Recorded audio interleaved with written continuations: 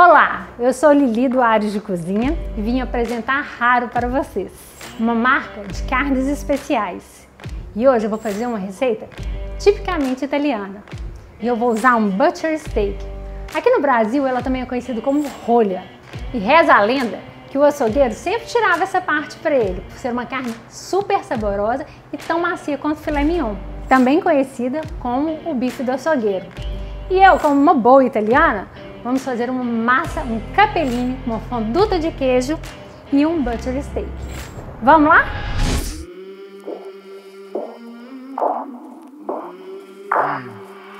I came from the mud, there's dirt on my hands.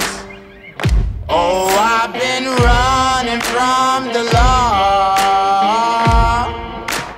Try to catch me howling at the moon.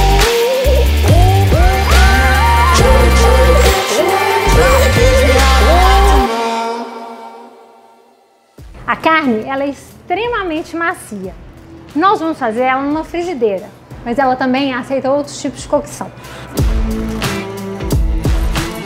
Aqui é simples, nós vamos temperar com sal, pimenta do reino e vamos passar ela na frigideira. E na frigideira vai ervas frescas, alecrim, tomilho, salve e alho.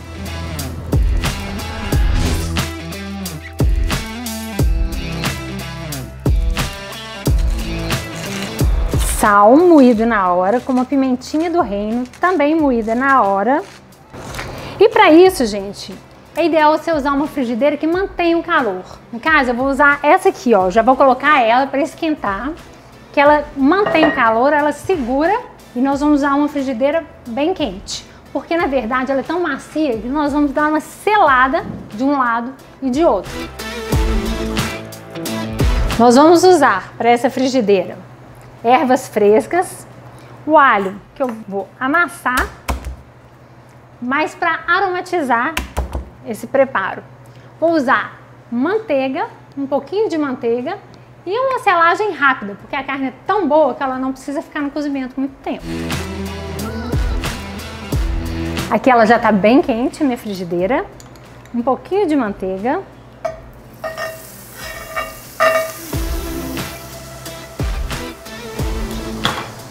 Meus dentes de alho. Olha só a beleza.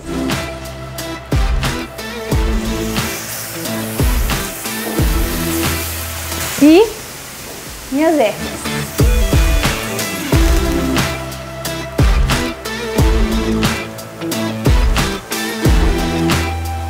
Bem rapidinho, viu gente? Não precisa de muito tempo para cocção.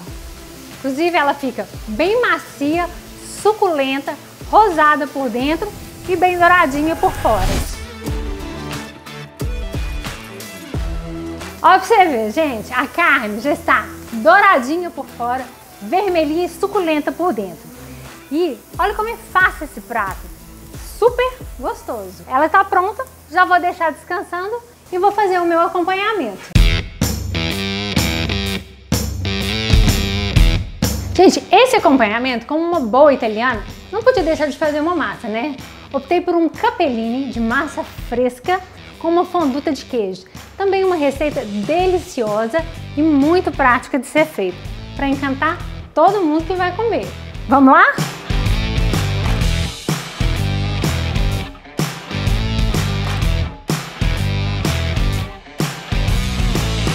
Então, enquanto eu cortava minha massa, eu já deixei a água fervendo. E eu vou colocar um pouquinho de sal grosso, porque ela tem que ter um gostinho de água do mar. A água já está fervendo e eu vou colocar minha massa para cozinhar. E é bem rapidinho, porque massa fresca ela cozinha bem rápido. Agora vamos fazer um molho, gente, super fácil e delicioso. E vamos começar salteando os cogumelos. É um molho de fonduta de queijo que super combina com essa massa. Então nós vamos pegar uma frigideira, um pouquinho de manteiga, cogumelo Paris, a gente higieniza ele antes, fatia de uma espessura mais ou menos de um centímetro.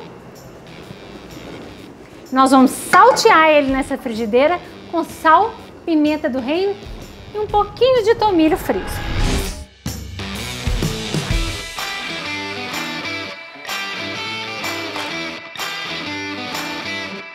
Meus cogumelos já estão salteados e agora nós vamos começar a fazer nossa fonduta de queijo.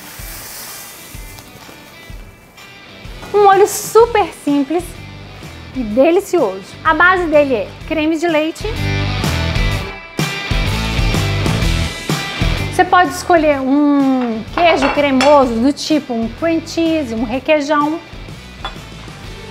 Em casa eu estou usando um cream cheese. Um bom queijo ralado, tipo grano.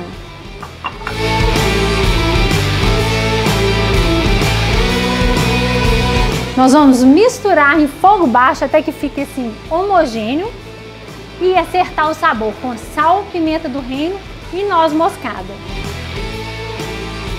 Aqui nós vamos misturar até ele dar uma encorpada, ele vai dar uma engrossadinha.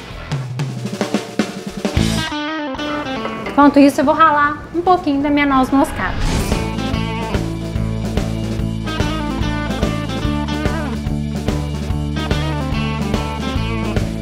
Sal.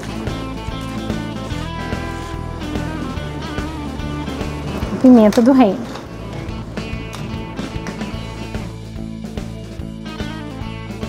Meu molho já deu aquela encorpada e agora eu vou acrescentar os cogumelos que eu já grelhei anteriormente. A minha massa já deve estar pronta.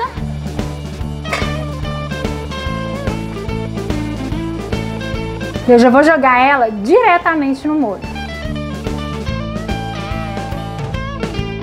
Agora vamos para a montagem do prato?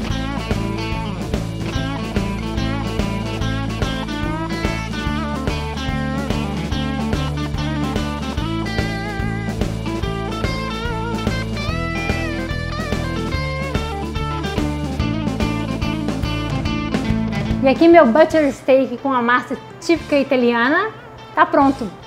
Mangia che te fa bene!